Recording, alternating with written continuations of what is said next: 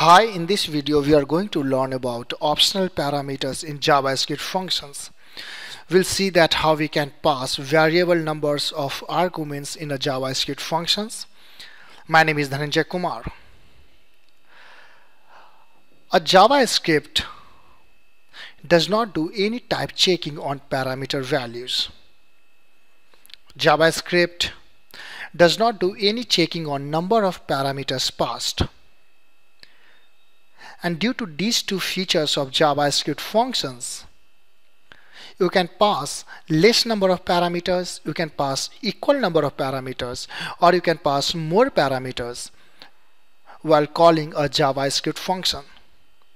So let us now get into demo and see how we can work with variable numbers of parameters in JavaScript function. So let us go ahead and create a function and I'm creating a function let us say print values. And that function takes three parameter abc and inside that uh, let us say we want to print console.log c. So what we are doing in this function that uh, we are passing three parameters should be comma and then printing the third value. Now uh, we can call this function with exact number of parameters print values and we can call 8 6 and 19 on running now we expect 19 should be printed. So here we see that we got 19 printed here. Good.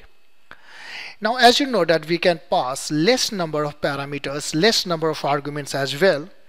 So if I go ahead and pass only two parameters as you see here that I am passing only 8 and 6 that is two parameters where whereas print values function expect three parameters. We are printing the third value here.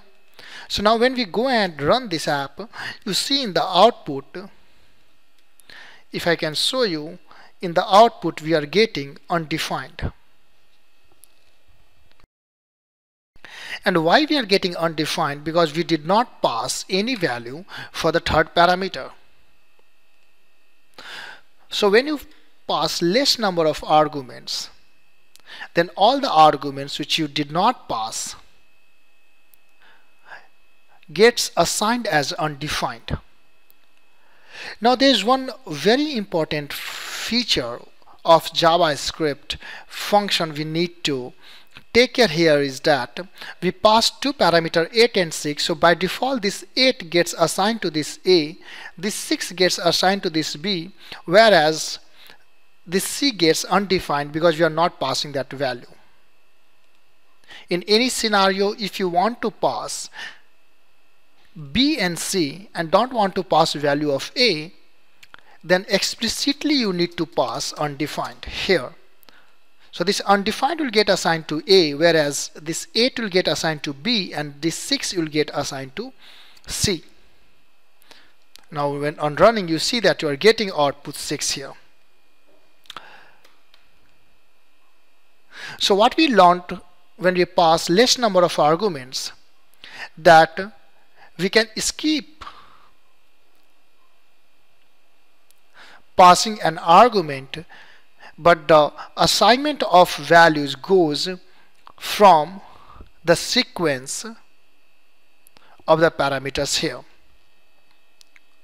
Now there could be a scenario that here we are passing less number of arguments. So you want to check and assign some value if that is not passed there.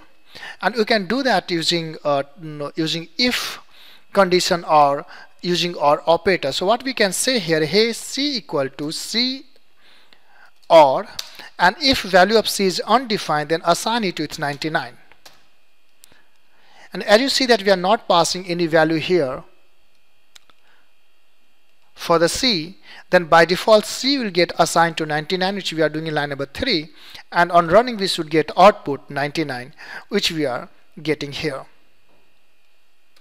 so this is the way you can pass less number of arguments to a JavaScript function. Now let us see that if we pass more number of arguments, as you see print values takes three parameters and here I'm passing 67, 99 or let us say 104. So what I have done, I'm calling print values function with five numbers of arguments whereas print values function expect only three parameter. Now if I want to work with these extra parameters, I can work with them using arguments. So I can say var fourth value as arguments and 3 so this is this a is argument 0 so all uh, parameters you pass in a function that gets passed as a array as arguments and their value you can access via arguments array so here what I'm saying this arguments 0 will uh, represent A, arguments 1 represent B, whereas argument 2 represents C. And we wanted to work with fourth and fifth element. So we can say arguments 3 and this will return this fourth parameter which we passed. In the same way we can say var fifth value as arguments 4 now if you go and print that we get fourth value and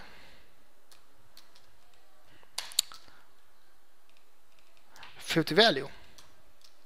So on running we expect output 99 and 104 which we are getting here. This is good.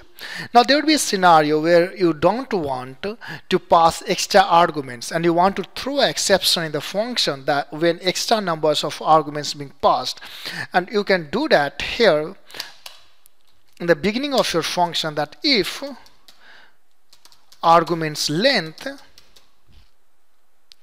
is greater than 3 then just throw an error.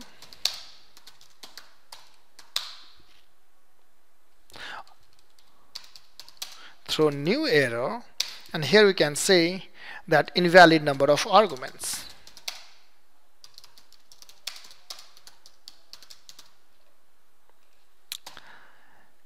Else you want to work with the arguments passed. A what exactly we are doing? Here we are checking that if more than three arguments are passed then throw an error and it should be actually this. Else work as usual. So here I will go and pass three arguments and on running I'm getting some error here. Console dot log and here I am getting 8 as an output. If I pass more parameter we should expect an error which we are getting an error over here because we are throwing an uh, we are throwing an mm, error there. So in this way uh, and this should go error right? So in this way you can uh, work with variable number of arguments in JavaScript function. I hope you find this video useful for any update uh, follow me on Twitter my Twitter handle is debug underscore mode Thank you so much for watching it.